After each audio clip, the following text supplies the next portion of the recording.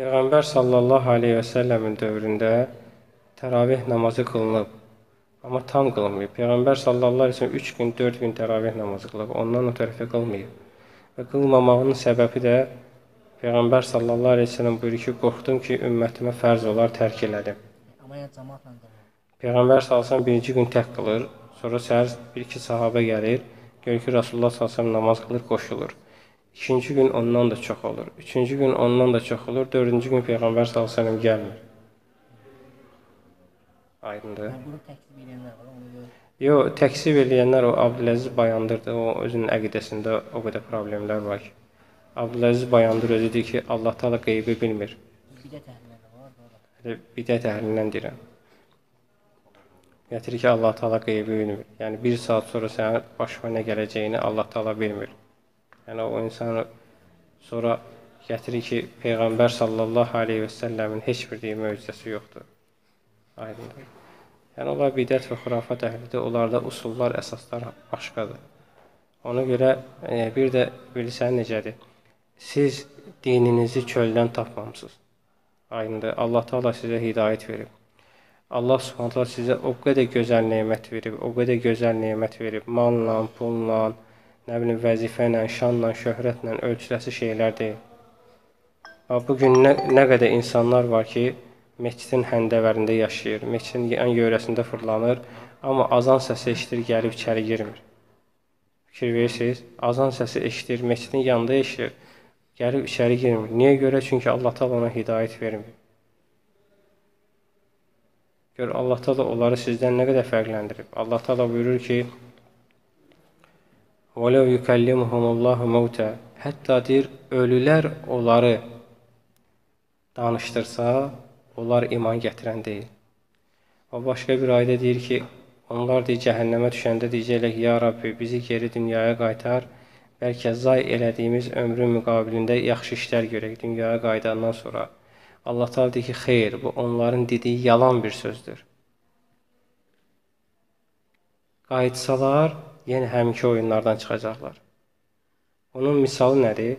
Bax, görsən elə insanlar var, türməyə düşür, narkotik üstündə, oğurluğun üstündə gedir, başı daşa deyir, əziyyət çəkir, çıxandan sonra öz işindədir. Aydındır. Yəni Allah Taala deyir ki, bu insan tezdən dünyaya qayıtsa belə, baxma ki, o cəhənnəm əzabını yaşayıb, yəni öz bildiyini edəcəkdir. İndi gördün Allah Taala səni onlardan nə qədər fərqləndirib, sənə necə hidayət verib. Yəni bunları niyə görə deyirəm, qardaşlar? Hidayət baxalı nemətdir. Siz dininizi çöldən tapmamısınız. Ona görə internetdə kimin gəldi, nəyin gəldi, tanımadığınız, bilmədiyiniz insanların dərslərinə qulaq asmayın. İnsan dinin xaricində azdığı kimi dinin daxilində də azır. İnsanın xaricdə düşməni olduğu kimi daxildə də düşməni olur. Ev çöldən dağıldığı kimi içindən də dağılır. Ona görə bəlkə də deyərdim ki, o elə ki öz dininə ciddi yanaşmayan insanlardır. Görsən, tanımırsan, bilmirsən, əlhəmdülillah o qulaq asma. Bu dəqiqə vallahi elm tökülüb qalıb yığan yoxdur. WhatsApp-da, orada, burada kitablar, qardaşların faydalı saytları var. Dəqiq bilirsən ki, əlhəmdülillah e, bərəkətli saytdır, heç bir problem yoxdur. Oxumaq istəsən, orada o qədər məlumat var ki, gir onları oxu da. Fəqih.com-un özündə yüzlərlə kitab var. Azərbaycan dilində. Gir oradan kitabları skaçat elə oxu, endir oxu. Elm istəyirsənsə. Prosta insanların problemi nədir? İnsanlar hər zaman qardaşlar rahatçılığa qaçır. Və insan rahatçılığa qaçdığı müddətcə, yəni bəzi həqiqətlər var ki, insan həmişə bədbəxt olacaq. Ona görə sələflər nə gətirir? Bəziləri gətirir 4 şey var ki, bəziləri gətirir ki, 5 şey var ki, Allah Subhanahu taala onları başqa bir 5 şeyin içərisində yaratmış, amma insanlar onu başqa bir 5 şeydə axtarırlar. Nədir onlar? Allah Taala deyir, elmi çətinliyin içərisində yaradıb. Nəyin içərisində? Amma insanlar onu rahatçılıqda axtarır və tapa bilmirlər. Aydındır rahatçılıqda axtarırlar, tapa bilmirlər. Allah Subhanahu taala izzəti, hökmranlığı ona ibadət eləməkdə yaradıb. Allah Taala buyurur ki: "Antumul a'launa in kuntum mu'minin." Əgər siz iman etsəniz, uca olanlar sizsiniz. İzzət Allaha və Rəsuluna və möminlərə xasdır, ancaq münafiqlər bunu bilməzlər. Allah Taala hökmranlığı, izzəti, üstünlüyü öz hökmranlığında yaradıb, amma insanlar onu padşahlara ibadət eləməkdə, vəzifələri, vəzifəli şəxslərin yan yörəsində gəzməkdə axtarırlar və tapa da bilmirlər. Aydın qardaşlar. Allah Subhanahu taala rahatçılığı nəfsin istəklərinə, arzularına yox deməkdə yaradıb nəfsin arzularına, istəklərinə qarşı gəlməkdə yaradıb. Amma insanlar onu nəfsə kölə olmaqda, nəfsin istək və arzularını həyata keçirməkdə axtarırlar və tapa bilmirlər. Allah Subhanahu Taala zənginliyi qənaətin içərisində yaradıb. Yəni insan qənaətkar olmalıdır. Amma insanlar onu mal-dövlət, mal-dövlətə həris olmaqda axtarırlar. Çox mal-dövlət yığmaqda axtarırlar. Və nədir? Yığa bilmirlər. Yığımcıl olmayan insan nə qədər qazanırsa qazansın, nə mənası var? Və Allah Taala mutlaq rahatçılığı mütləq rahatçılığı yəni çətinliksiz rahatçılığı heç bir istisnası olmayan rahatçılıq.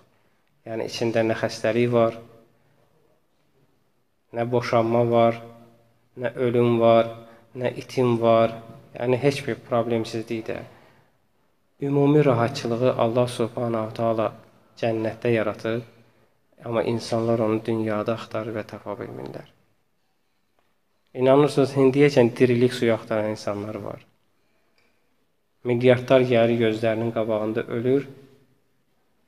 Amma yenə aldanmaq istədiyi şeylər üçün görürsən ki, çalışırlar. Ona görə qardaşlar,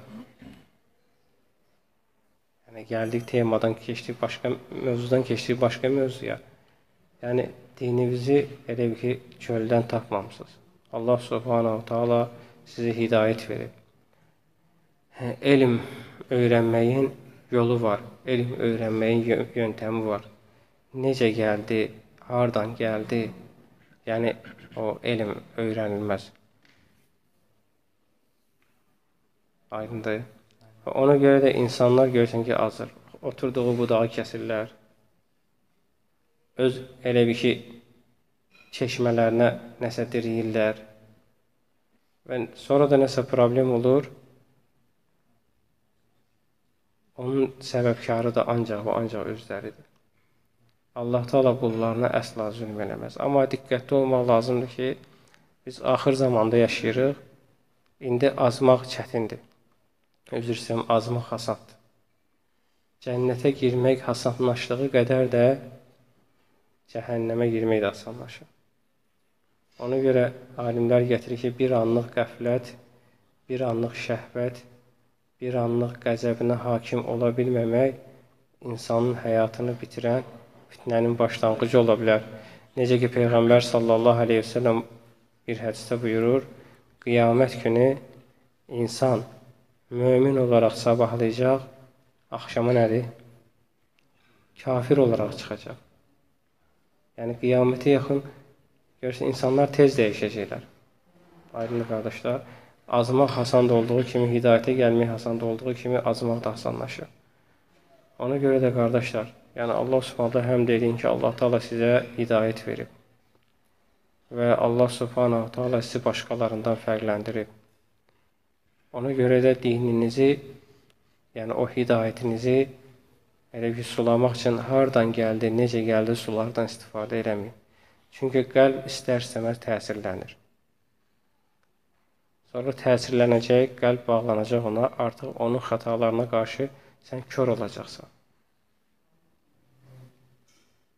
Ona görə internetdən, bilmədiyiniz qaynaqlardan, bilmədiyiniz adamların dərslərindən, xüsusilə də bizim dildə, bizim Azərbaycan dilinin ən böyük elə bir şey e, faydaları ilə yanaşı ən böyük problemlərindən biri də əgər məsələn e, tata məsələn hansısa bir dövlətdə deyək e, orada ə, fitnə məsələn e, yüzdə məsələn e, 50 sürətlə yayılırsa, bizdə fitnə də, xeyir də 2 qat, 3 qat yayılır. Çünki bizdə həm türk dili var, həm də rus dili var.